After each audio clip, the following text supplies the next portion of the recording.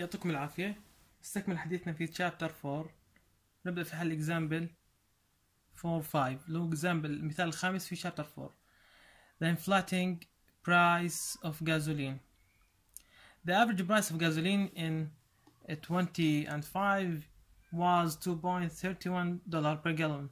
In 1993, the average price was 1.07 dollar.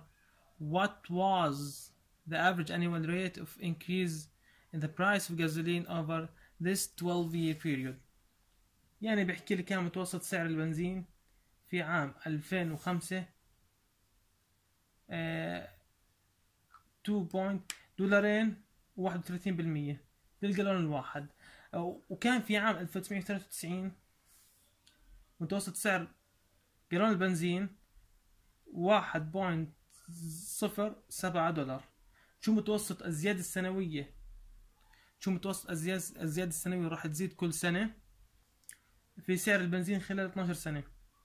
يعني قديش نسبة الزيادة كل سنة على مدار 12 سنة اللي هم من 1993 ل 2005 اللي هو الفارق ما بين 2005 ل 1993 بيطلع 12 سنة. يعني بده ال i interest الآن معي ال F معي ال P معي ال A أو معي ال n اللي هو 12 سنة بده ال i بامكان أستخدم طريقتين. الآن الطريقة الأولى.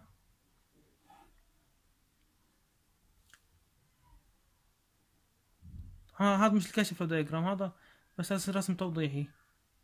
أنا ممكن أعتبر 1993 و 2005 تمام؟ ممكن المنطق إنه أعتبر البريزنت 1993 وأنا بمشي بالزمن تاني وصلت لفيوتشر مستقبل. زي كأنه رجعنا لحالنا. رجعنا حالنا ل 1900 رجعنا حالنا من 2019 ل 1993 زي كانه أنا هون الآن. زي كأنه الحاضر حاليا 1993 وبعد 12 سنة اللي هو 2005 تمام؟ المستقبل. يمكن أحل على هذا النظام. يا بحكي إنه معي ال future. أو بحكي هيك. في future give بده i و نسبة n. أو العكس. هلا هاي معي وهاي معي. وهون معي طبعا بستخدم ال standard notation أحسن اللي هي المعادلة لأنك أنت مش منطقي. لما تقسم هذا الرقم على هذا الرقم راح يطلع معك هذا الرقم. فال interest factor راح يطلع معك رقم. فأنت راح أنت راح تصير تدور في كل الجداول اللي عندك وعندك جداول كثير. إحنا اللي بيسهل علينا إن نروح نلاقي ال interest notation هاي اللي هون من الجدول اللي هي النسبة لكن النسبة مش معي اللي هو بده إياها فبدي أروح على كل جدول على رقم 12 12 سنة على ال F give P given P آه وبدي آه أدور كل جداول تن ألاقي النسبة تن ألاقي المقدار هذا اللي هون اللي هو بيساوي F على P طبعا بعد القسم بعد ما تظبطها لي هون. بصير F على P تساوي هذا المقدار. تمام؟ أو إنك تستخدم P تساوي F آه في ممكن نحكي p given f بالنسبة i. الآن نفس نفس الموضوع. إنك لما تروح تدور في ال tab راح تتغلب. فلذلك استخدم ال standard notation. هو عبارة هذا المقدار بيساوي لي آه واحد plus i كل أس minus n تمام؟ اللي هي المعادلة الأصلية. لما يكون معك F وبدك P. في حال أنت استخدام زي هيك اللي هو المنطق العادي إنك تكون 1993 ال present وبعد 12 سنة يصير عندك future 2005 أو الحالة الثانية إنك تستخدم إنك تفرض إنه 2005 ال present و1900 93 future هلا في ناس بتحكي لي كيف هي ممكن تصير؟ ما على الحل نقدر نحل عليها لكن منطقيا ما بتصير. لأن لو فرضنا 2005 وال future 1993 فأما أنا عمال برجع بالسنوات وبالتالي هون بدل ما أستخدم إيه إني بمشي سنوات موجبة راح أصير أمشي سنوات سالبة. فبدل ما هون كنت أعوض 12 سنة في ال n آه لأنه كنت بال present الآن 1993 ومشيت للأمام. على خط الأعداد اشي منطقي؟ أنا لما أمشي لليمين بستخدم العدد موجب أو العدد بصير موجب. لما استخدم لما أروح للشمال بستخدم السالب لأن عمالي برجع رجوع. عمالي برجع خطوة هون بقدم خطوة. فبالتالي أنا لما استخدمت ال present 1993 وال future 2005 أنا عمالي بمشي للأمام. وبالتالي استخدمت هون 12 سنة موجبة. تمام هنا أما في في, في النظام هذا طبعا هذا النظام كفكرة لكم لكن بفضل تستخدم النظام هذا. إنك تفرض إنك الآن ال present 2005 وال future 1993 فأنت عمالك بترجع في السالب ترجع خطوات أنت لازم ترجع 12 خطوة لورا لأنك تصل لل future في الخلف.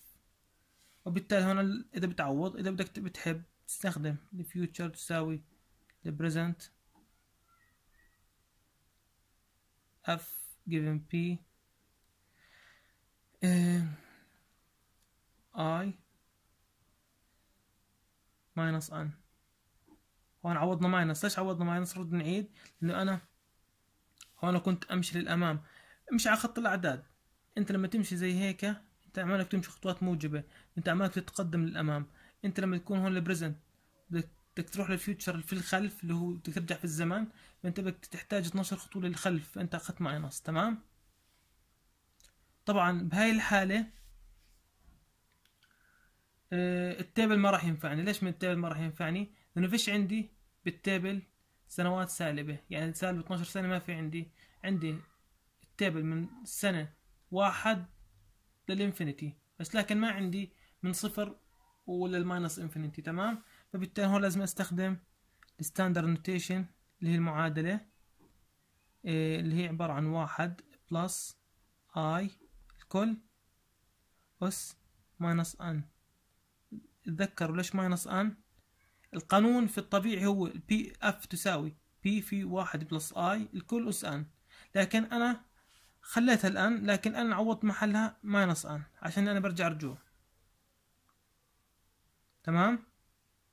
لأن هي كان في الأصل. F تساوي P في واحد plus i الكل أس n. هاي في حالة إني كنت بمشي طبيعي زي العالم. إني 1993 present وأنا بمشي معهم للامام تمام؟ لكن إذا حبيت أرجع في الزمن ممكن نحكي. آه فأنا واقف أنا الآن بدي أقف عند 2005 وبدي أرجع للخلف أنا عمالي برجع خطوات للخلف. لعند 1993 فأنا بدي أرجع 12 خطوة فبحتاج إشارة الماينس. تمام؟ أو إنه بستخدم P تساوي F في P given F في I في minus N. وأنا بعرف إنه هذا القانون تساوي واحد plus i في minus لازم أحط minus n minus ال minus n عرفتوا ليش؟ الطبيعي إنه يكون minus n لكن أنا n اللي عندي راح تكون minus ف minus minus راح تطلع موجبة. يعني عندك أربع طرق للحل. يا بتستخدم الجزء هذا له طريقتين حل لأنه معك أنت F ومعك P فإنه يا بتستخدم هذا الجزئية اللي هون يا بتستخدم الجزئية الأخرى اللي هون. يا هاي. وفي عندك الطريقة الثانية ما تستخدمها غير بالحالات الاستثنائية أحسن لك عشان ما تخربطش تستخدم الحالة العادية. ولها طريقتين عشانك أنت بتعرف F وبتعرف P بإمكانك تستخدم يا هاي يا هاي يا F given P يا p given f زي هنا. هون استخدمنا f given p على سبيل المثال في أول طريقة. بس لكن عوضنا الإشارة minus لأن اعتبرت 2005 الآن. وأنا بدي أرجع 12 خطوة للأسفل فاستخدمت ماينس n. برجع رجوع تمام؟ أو الطريقة الثانية من من الطريقة الثانية. الطريقة الثانية من الحالة الثانية. لأن أستخدم p given f. P given f في نسبة i.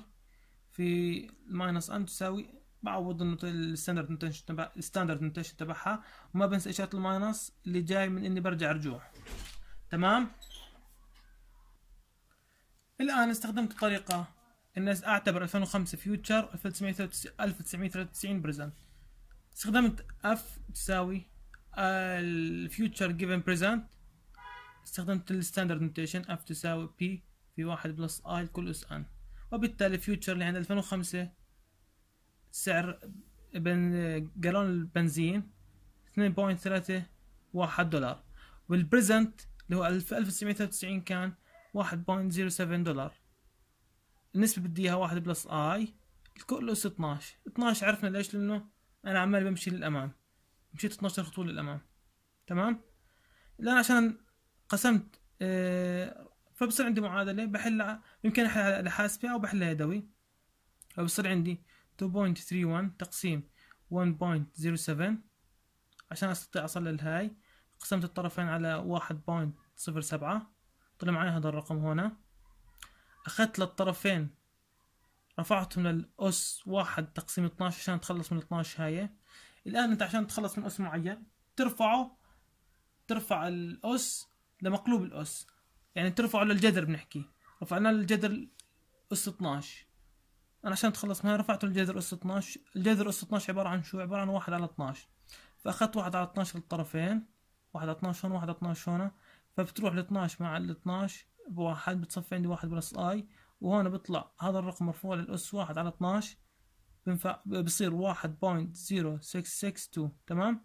الآن بدي أصل ال i بطرح من طرفين واحد طرحت من طرفين واحد طلع عندي zero point zero six six two وهي نفسها ستة point ستة اثنين بالمية. هيك بكون انتهى السؤال. يعطيكم العافية.